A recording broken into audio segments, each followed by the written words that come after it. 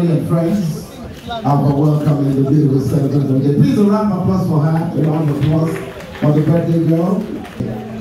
We will start with a short word of prayer.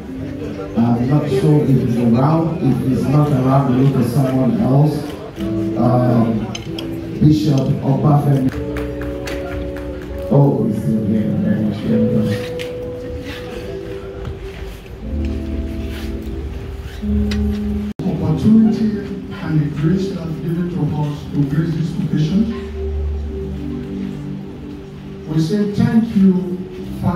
50 years of amazing grace. We say thank you, Father, for 50 years of your faithfulness, of your tender mercies. We say thank you, Father, for 50 years of your protections over her.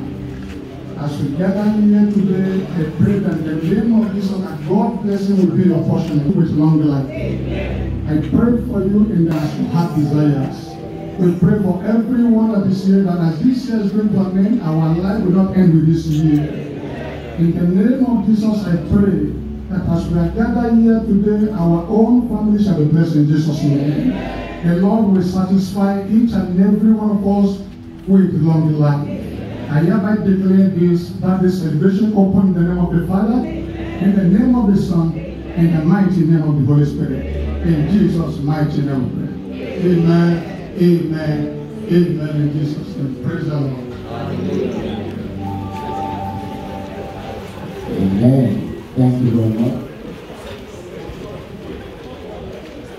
Few words because we have about 10 people who, I mean, if 10 people speak for 30, 30 minutes, we might as well be here tomorrow. So we've man, we've carefully um, agreed that every speaker should not do more than two minutes. So please, whatever it is you want to say about this, do, two minutes by 10 people. That itself is 20 minutes. So uh, please help us, uh, uh, help us. My beautiful Ice Fanta, as I call her. My mom is beautiful in and out and very refreshing. That's why I call her my Ice Fanta. And I love you so much. And I pray that God will continue to guide and protect you. I pray that all your heart desires will be granted in Jesus' name. My mom is a very beautiful person. Like, I'm obsessed with her. Come on, just look at that beauty.